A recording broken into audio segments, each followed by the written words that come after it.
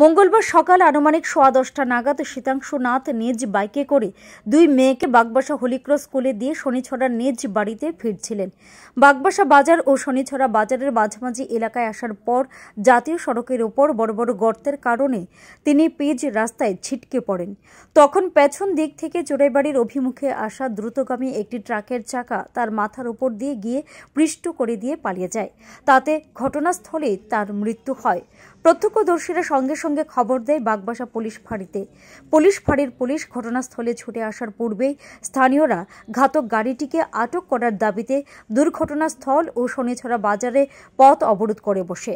স্থানীয়দের অভিযোগ, জাতীয় সড়ক দিয়ে রাজ্যের ও বহিরাজ্যের ট্রাকগুলি যে পরিমাণ তীব্র গতিতে আসা যাওয়া করে তা অত্যন্ত ভয়ঙ্কর বিষয়।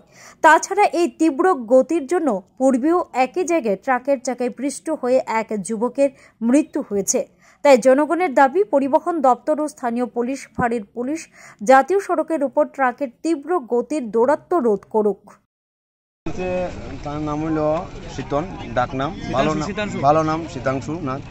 তো তাই না আজকে সকালে মানে মানে দুটা মাইয়ারে নিয়ে বাগবসা হলিউড স্কুলে কনভেন্ট স্কুলে? দেওয়া তাইছে দিয়ে সরিয়ে যাওয়ার পথে দানিয়েল লুটনের পাশে রাইট সাইড থাকা সত্ত্বেও বারচাকা একটা বাড়ি মারি ফেলাই গেছে গিয়ে। মাইয়া বুঝছেন স্পট ডেট তাই তাইনে তো শনিচরা বাজারে তাইনের বাড়ি।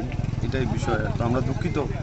দুঃখিত এই কারণে যে বারো চক্কাগুলো ইদানিং কালে দেখা যাচ্ছে অনেক case- এই জায়গাত আরও দুইটা বাইকের অ্যাক্সিডেন্ট হয়ে সারছে অলরেডি যে জায়গা তুইছে আজকে, এই জায়গাত আরও দুইটা কেস হয়ে সারছে।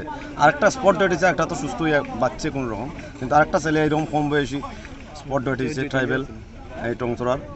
হ্যাঁ দনকিরামের ছেলে। তো এই জায়গাটা এমনই একটা বিষয় হয়েছে সবসময় অ্যাক্সিডেন্টের জন্য হয়ে গেছে। প্লাস যারা অটো চালায় রাস্তাটাও খারাপ। হ্যাঁ, অটো চালায় টুকটুক চালায় অত বারো চাকা ড্রাইভার একজন এক কথা হইলাম বাকিটা বুঝাই হইলাম না আমি। এটাই বিষয়। তো আরটিও অফিসার যারা আছে আরটিওর বিষয় অর্থাৎ এমবিআই বিষয়ে যারা আছে তারা তদন্ত করুক যে নর্থ ত্রিপুরার ভিতরে অন্তত পক্ষে নর্থ ত্রিপুরার ভিতরে যত ড্রাইভার আছে তারা কি প্রকৃতকারে ড্রাইভার না এল্টো চালায় বারো চাক্কা নিয়ে রাস্তা দৌড়াইতেছে? এটাই আমার প্রফেসর সরকারের প্রতি যে দেখেন তারা কি বিষয়। রোজ দিন যদি আমরা এরকম মানুষ মারা যায় তাইলে কি ঘটনা ঘটতে পারে ফিউচারে যার জন্য আমরা রাস্তা এদিকে পুলিশ চোরাইবাড়ি থানার সামনে সন্দেহভাজন এএস নম্বরের একটি ট্রাক ও চালক সহচালক ও অপর এক ব্যক্তিকে আটক করেছে। পাশাপাশি স্থানীয় পুলিশ ফাঁড়ির পুলিশ একটি পথ দুর্ঘটনার মামলা হাতে নিয়ে তদন্ত শুরু করেছে।